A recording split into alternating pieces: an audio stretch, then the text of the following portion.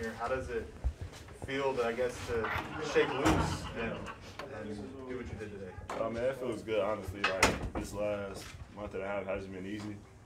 Like there have been times I was wondering like what did I do to the point that led me to that mentally and like obviously I was thinking it was physically, like my weight, so I was working on everything, but like honestly the last two days of practice I just said bump it. I'm just go have fun and go be me, dance around, laugh, just be be who I've been the last three years and well two years. So then that's what I said I was gonna do.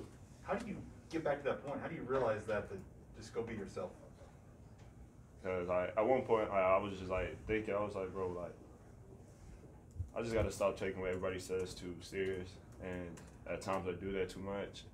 I take what Coach B has to say to heart because granted the dude helped me change my life so far at this point.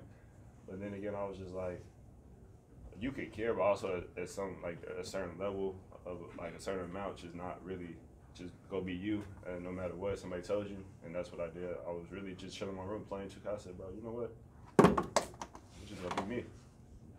Specifically going into this game, was there anything different you did routine wise, or what do you think made you have that energy for this game?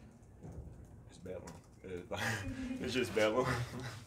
uh, like, obviously, we love we all love to be every every team, every team in the Big 12 we play. It means something, but when it's when we when it's time to play little brother, you know, you gotta just it's time to beat up little brother at home. So, and I have so much respect for OU, but yeah.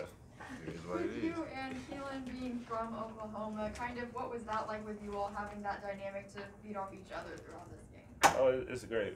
If a lot of people know, uh, a lot of people didn't see me. He just played it, play like that in high school, and we just said, "We're gonna play like that in high school. We're gonna bring it to college until somebody separates us." Coach Mike wanted both of us. He asked us if whatever path we have in the future, if, if it's together, then we're gonna keep doing the same thing. If not, then I guess that's the end of it. Kalib, you, you talk about being me, being yourself today. How did that feel, and how did it feel different than maybe the last month out there on the court?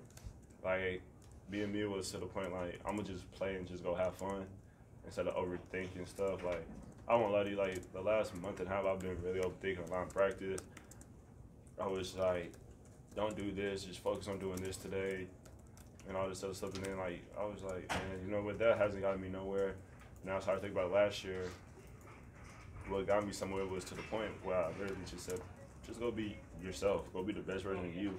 And if that doesn't work out, then that's when you just gotta just thug it out, and that's what I did today. I was just so happy because I was happy for my guy Moussa because this was his first Bedlam experience, and Sure.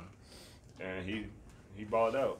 And then Reek, same thing on this side. So I was just happy. I was happy for my guys, and I was like happy. I was like, bro, it's this is the game we don't lose, and plus it was remembered at ten, and I never, I never until like I never want to lose a game like that kind of game in this jersey. So when every time we play that, that just means everything got to be turned up a notch.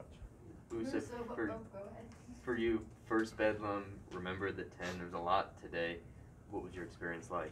I mean, it was a great experience, and then it meant a lot to me because I know how it feel like to lose somebody. So I came out today, play play hard for them, play hard for my mom, and trying to give it all I got. So it was a, it meant a lot for me. Have you ever? Who's that? How did those dunks feel today, man?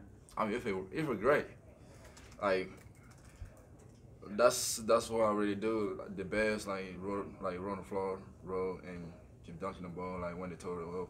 So I kept doing that. I was I was locking on those those live today. So yeah, it was it was great. You, you posted up more too than usual. Was that something you were emphasizing throughout the week or for today or what? Man, I've been working on those sports moves for for a while now, so it's gonna come out. Uh, now I do that every time I practice. They can't stop it. They can't stop the fade, right?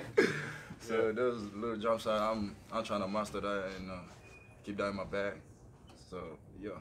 You guys have lost some close games recently. Uh, here you got ahead. Uh, you guys kept your foot on the gas. Was there any discussion uh, in the second half of the game as far as what it was going to take to stay ahead? Oh yeah, like mostly like most of the losses we won like on the um first half we up or like we tight and then we relax. I feel like we get comfortable. And then today I was like, today is like a big game for us. It's like an important game to us. So we gotta we gotta stay locked into the end of the game. So I feel like everybody like everybody was locked in. The guards was doing what they're supposed to do. KB was doing what they're supposed to do. I was doing what I was, Rick. Everybody was doing what they're supposed to do, playing like hard defense and stuff. So we was we was pretty much locked in.